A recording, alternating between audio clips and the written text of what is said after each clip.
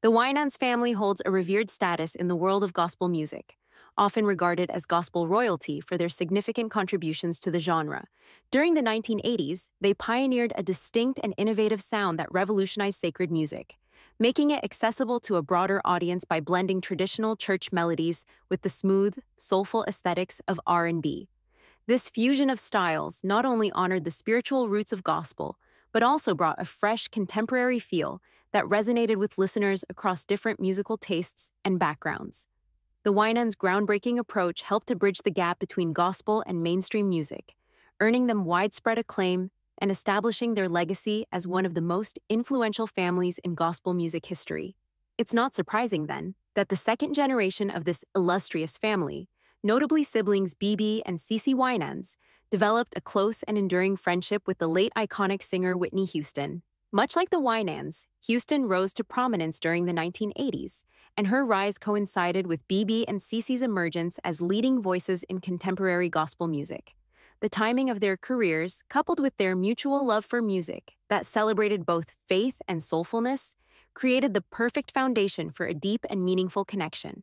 Their friendship wasn't just about making music together, it was about sharing a common bond rooted in their spiritual upbringing and their understanding of the power of music to uplift and inspire.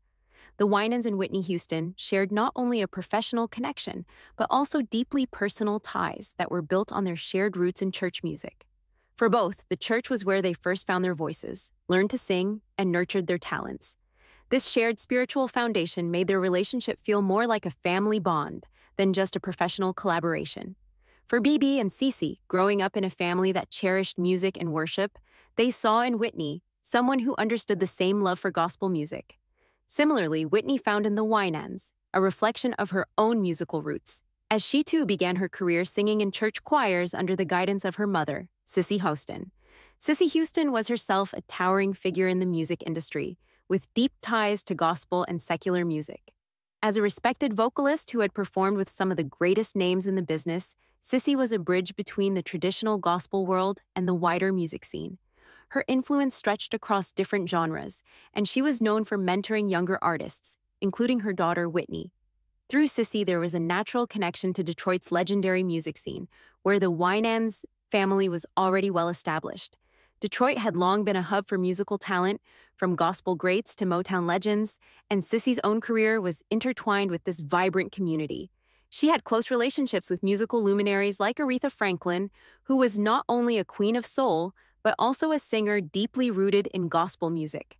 The connections that tied the Winans family to Cissy Houston, and by extension, to Whitney, were thus not just about shared interests, but also about a mutual respect for the craft and for the spiritual essence of the music they all loved.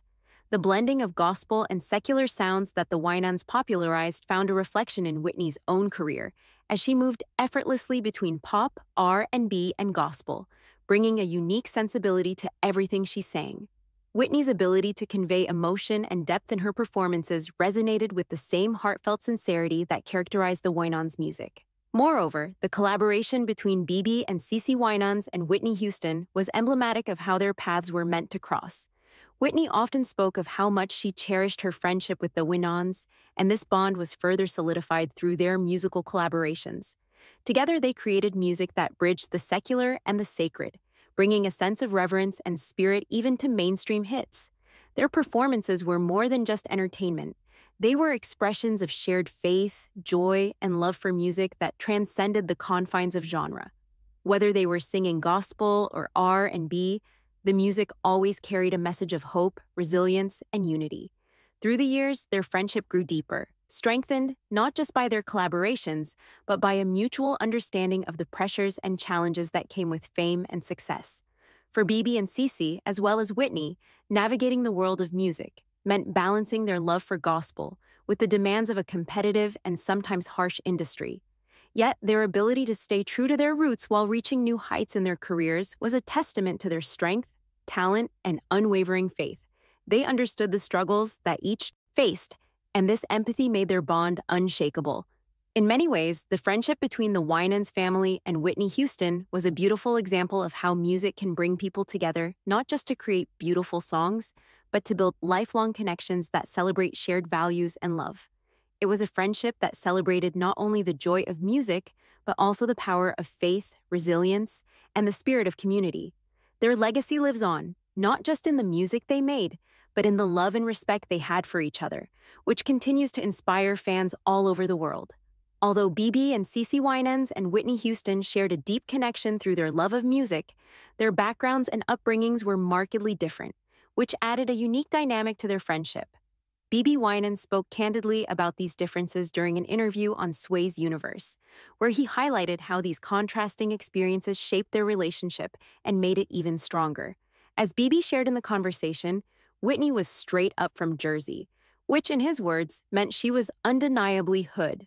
This wasn't just a casual observation, it was a reflection of the grit, confidence, and boldness that defined Whitney's personality on stage and off.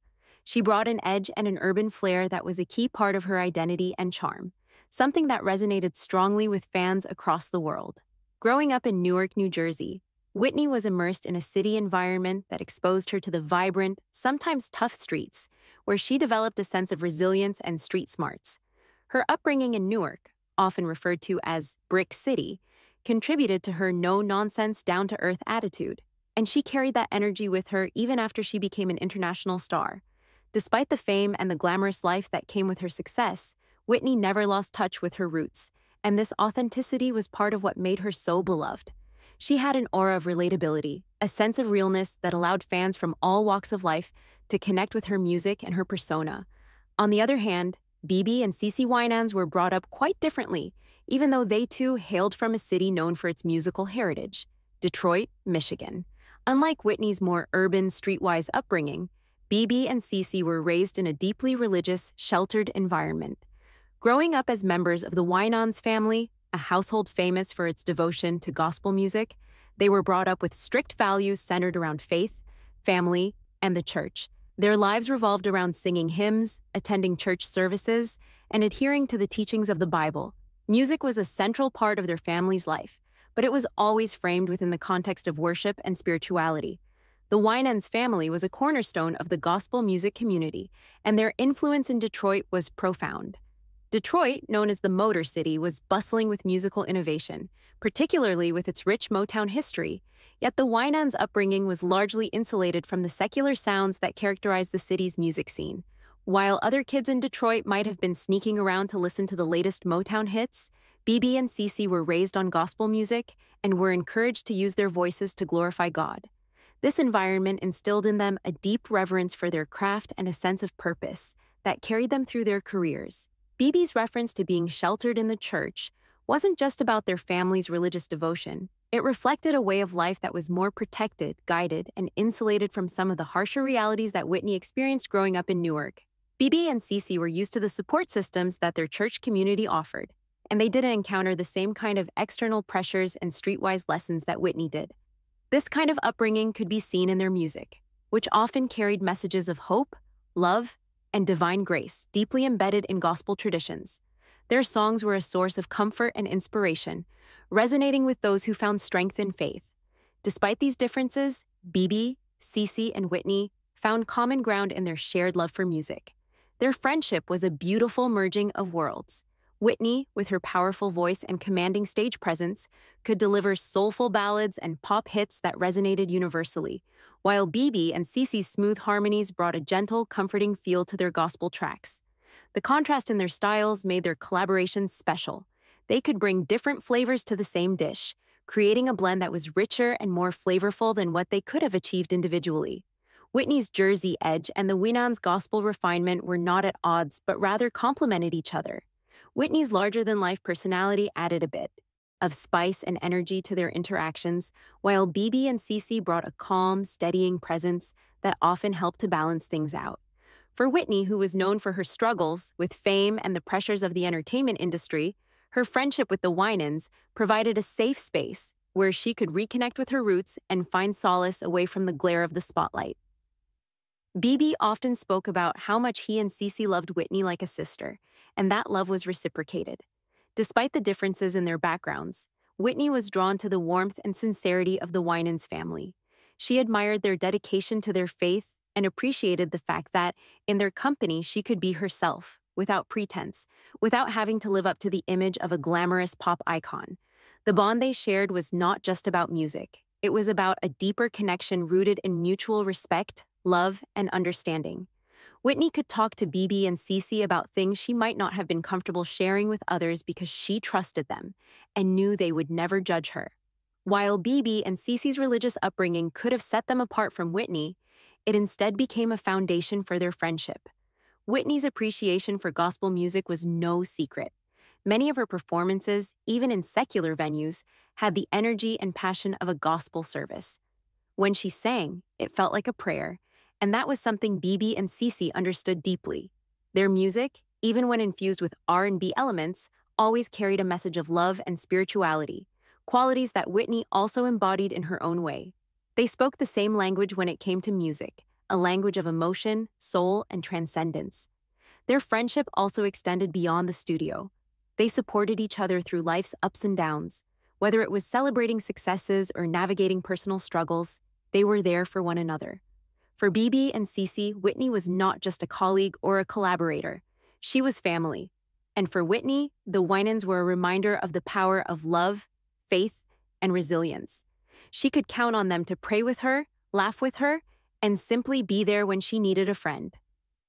In many ways, their friendship was an example of how people from different walks of life can find common ground and build something beautiful together. It was a testament to the fact that, despite our differences, we can connect on a deeper level through shared passions, values, and mutual respect. The relationship between Whitney Houston and the Winans family continues to be a shining example of how music can bring people together, bridging gaps and creating lasting bonds that transcend the constraints of background and upbringing. It wasn't just about blending sounds, it was about blending hearts, minds, and spirits in a way that created harmony both on and off the stage. Bebe Winans shared one of his fondest yet most unforgettable memories of his dear friend Whitney Houston during an interview with Sway Calloway, Heather B., and the rest of the crew on Sway's universe. The story, as he recounted it, perfectly captured the essence of Whitney's vibrant, spirited personality, which often reflected her roots as a Jersey girl. Despite the glitz, glamour, and elegance she exuded on stage and in front of the cameras, Whitney was always authentically herself, bringing that same energy no matter the situation. Bebe began by setting the scene, reminding everyone just how quintessentially Jersey Whitney was. I don't care how many gowns you put on her, she was Jersey, he said with a knowing smile. He then launched into the story, recalling a time when he, along with Whitney, Cece Winans, and Whitney's close friend Robyn Crawford decided to catch a movie together. It was meant to be a low key, casual outing, with the four friends slipping into the theater quietly after the lights had already dimmed, hoping not to disturb the other moviegoers. But as Bebe would soon find out, their plan for a quiet evening was about to take an unexpected turn, thanks to Whitney's outspoken nature. Bebe and Robyn had taken seats directly behind Cece and Whitney, who sat next to each other. The group settled in, and as the movie began, Everyone seemed to be enjoying themselves. However, it didn't take long before Whitney, known for her animated reactions and her love of commentary, began whispering her thoughts about the movie to Cece. Although she was trying to keep her voice down, her enthusiastic comments were anything but quiet. BeBe described her as speaking in a loud whisper, sharing her reactions to the film's plot twists and dramatic moments. I don't believe that girl's gonna do that, she'd say, her voice filled with disbelief and humor. Whitney's ongoing commentary was amusing to Cece, but it didn't sit well with everyone in the theater. In particular, there was a couple sitting directly in front of them, a white woman and her partner, who quickly became irritated by the continuous chatter. The woman kept turning around, shooting them annoyed glances, clearly hoping that her silent protests would convince Whitney to quiet down. But if there was one thing Bebe knew, it was that Whitney wasn't the type to back down easily especially when she was in her element, surrounded by friends and enjoying herself. Bebe, who was watching the interaction from his seat behind them, could sense that things were beginning to escalate. He understood why the woman was frustrated, but he also knew that asking Whitney to shut up was not going to end well. Things just boiled over, Bebe said, building up the tension of the story. After enduring Whitney's commentary for a while, the woman finally turned around, visibly exasperated, and bluntly told Whitney to be quiet. Her exact words, according to BeBe, were shut up. In that moment, BeBe's heart sank. He knew that this was the kind of situation that could lead to fireworks, given Whitney's proud, assertive personality. I just went to praying, he said, recalling how he instinctively sought divine intervention. Oh, oh, Jesus, he whispered to himself, hoping that a higher power would step in to diffuse the situation. He was well aware that the fiery side of Whitney's personality was now fully activated, and he feared things might get out of hand. Yet, for a few seconds, it seemed like his prayers had been answered. Whitney sat back in her seat, seemingly calm and composed, as if she was going to let the incident slide without any confrontation. But the calm didn't last long. After about 30 seconds of silence, Whitney made her move. In true Jersey girl fashion, she leaned forward, reached out, and grabbed the woman's ponytail, giving it a sharp, deliberate tug. The suddenness of the gesture shocked everyone, and Whitney, unfazed, delivered her message loud and clear. Don't you ever talk to me that way, she said, her voice firm and unyielding. Then, with a flick of her wrist, she released the woman's hair, tossing her head back towards the screen. BeBe couldn't help but chuckle as he retold the story, despite the chaos it must have caused at the time. It was a classic Whitney move bold, unapologetic, and true to herself. For BeBe, this moment wasn't just about the humor or the drama, it was a testament to the authenticity that made Whitney so endearing to those who knew her best. She was unafraid to stand up for herself, and even in moments that might seem outrageous to others, she was just being Whitney. There was a kind of unfiltered honesty in her actions, a rawness that made her stand out not just as an artist, but as a person. The way BeBe told the story, it was clear that he wasn't just sharing an anecdote for entertainment. He was painting a picture of the Whitney he knew and loved, the friend who was fiercely loyal, who stood up for herself, and who was unafraid to be her authentic self even if it meant ruffling a few feathers. BeBe's memories of Whitney often reflected this mix of affection and admiration, showing a side of her that went beyond her public persona as a global superstar. To him, she was still that Jersey girl who brought life and laughter wherever she went, whether she was dazzling audiences with her voice or sparking a minor commotion in a darkened movie theater. BeBe's recollection of this incident also highlighted the closeness between Whitney and the Winans. It wasn't just about their musical collaborations, it was about the shared experiences, the laughs, and even the tense moments that forged a deep bond. Whitney's friendship with BeBe, Cece, and Robyn was built on years of understanding, love, and support. And this story was just one of many that illustrated how they navigated life's ups and downs together,